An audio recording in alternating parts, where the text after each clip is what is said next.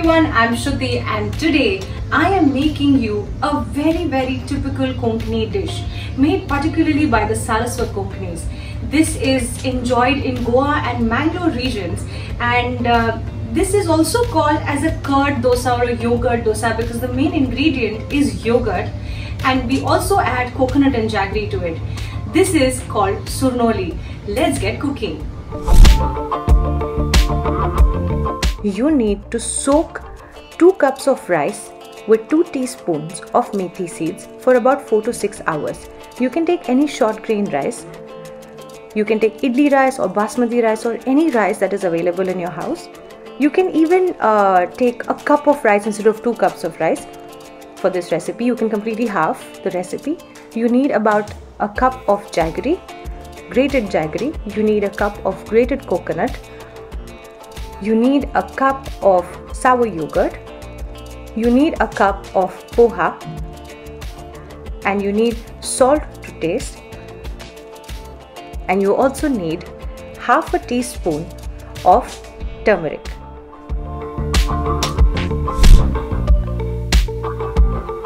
So let's begin with soaking the poha with the yogurt first. You can also wash the poha in water and then soak it in yogurt, but I have directly soaked it in yogurt.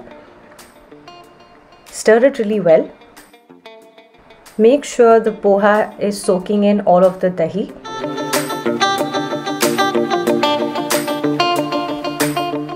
After you mix this, you let it rest for about 2 minutes and then we will add about half a cup of water to this.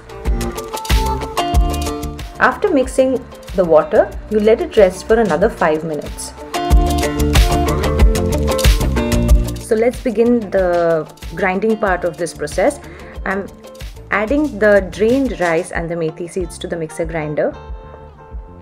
So if your mixer grinder is a little bigger than mine, you can do it in uh, just one uh, session of this but I had to uh, do it twice I had to uh, divide the batter now I am adding the soaked poha in the yogurt. I'm adding freshly grated coconut. I also added the jaggery uh, a little later. I'm also adding right now half a teaspoon of haldi and uh, I added about a cup and a half of water to grind this whole batter. Make sure you don't add a lot of water to this. And the batter should look something like this. I added everything that I mentioned in the ingredients except for the salt. So it should be a thick and a smooth batter with slight coarseness of the rice on your finger. You should feel a slight coarseness of the rice, but not too much. It needs to be a smooth and a thick batter. So we will have to let this sit overnight and use the, the batter the next day to make dosas. You can also add the jaggery the next day and make sure that you are not adding the salt at this moment. So let's cover this and let it sit for about 10 hours or overnight. So this is the batter that I have fermented overnight and this is how thick it is and it's really fermented well. So now what I'm going to do is I'm going to take some in a bowl.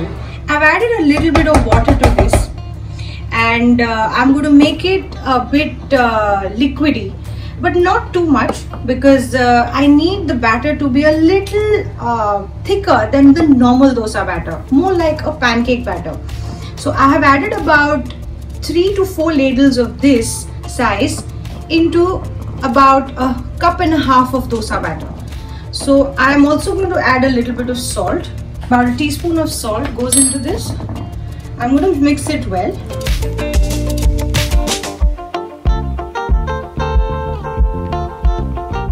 One more thing that I'm going to add to this is 1 4 teaspoon of baking soda.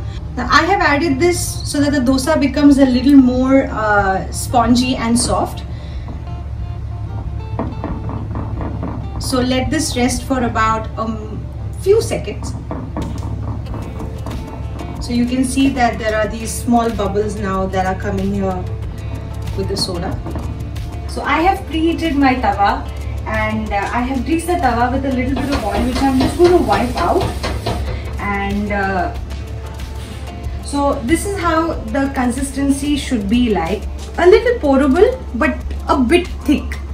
So let's get to making these dosas. So these dosas are about 10 centimeters in a diameter traditionally.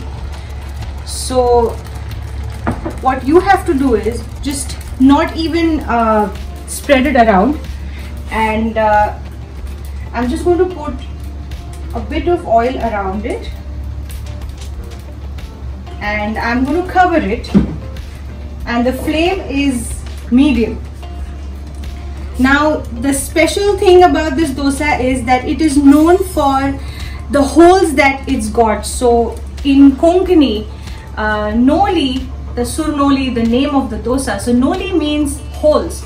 So basically this dosa is known for the whole holes and the 10 centimeter uh, size and uh, also the added turmeric and the yogurt and the jaggery in this dosa.